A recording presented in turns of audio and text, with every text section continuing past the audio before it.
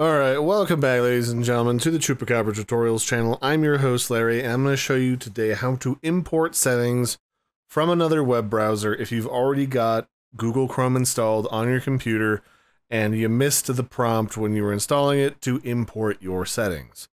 So the simple answer is all you have to do is click on the three buttons over here in the upper right corner to open the menu and then go down to settings.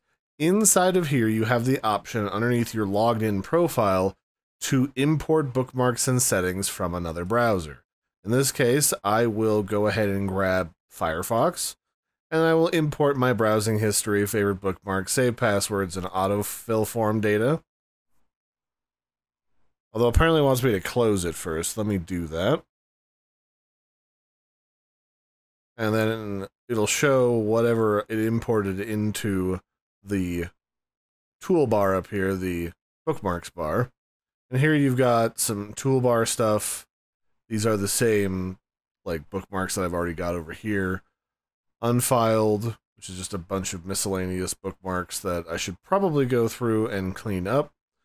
And all of that good stuff.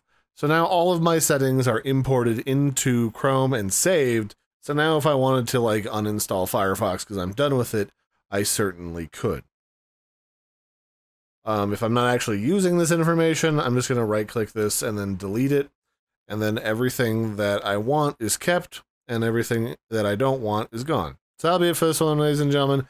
This is just a brief look at how to import bookmarks and settings into Chrome from another web browser. And I will catch you next time. Bye, everybody, and have a good one.